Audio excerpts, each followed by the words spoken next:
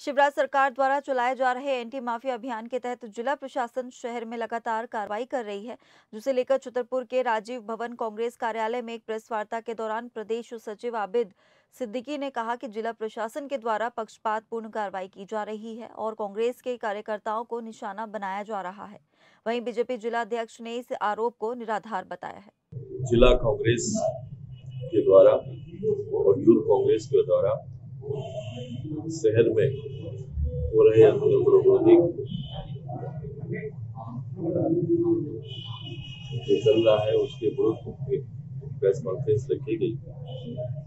और दुर्भाग्य से माननीय तहसीलदार महोदय द्वारा मेरे विरुद्ध भी मेरी एक वैध कागजों वाली जगह को गिरा दिया गया। और गलत तरीके से गिराया गया।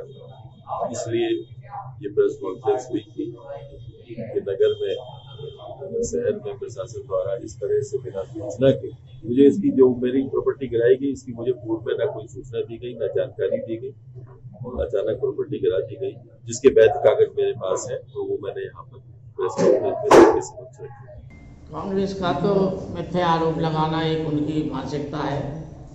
और जो भूमाफियाओं का प्रश्न है, इसके ऊपर तो हमारी शिवराज सिंह सरकार ने, चाहे वो कांग्रेसी हो, चाहे वो भाजपा ही हो, चाहे वो किसी भी दल का हो, वो तो सरकारी जमीनों पर जो कब्जा किए हुए हैं, और बहुत पहले से कब्जा किए हैं, उनको हटाने का ये एक छोटा सा प्रयास है। उस प्रयास में सफल भी हो रहे हैं। इसके पहले भी अभी कमलनाथ जी ने इसी तरह का एक अभियान चलाया था।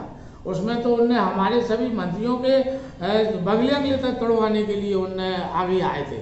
यहाँ तो अभी तो हम तो बिल्कुल पारदर्शिता के साथ इस अभियान को चला रहे हैं। और इसमें यदि किसी के पास है कोई दस्तावेज़ उस ज़मीन के तो वो आए, आगे आए, दिखाएँ और उसकी हम मदद करेंगे।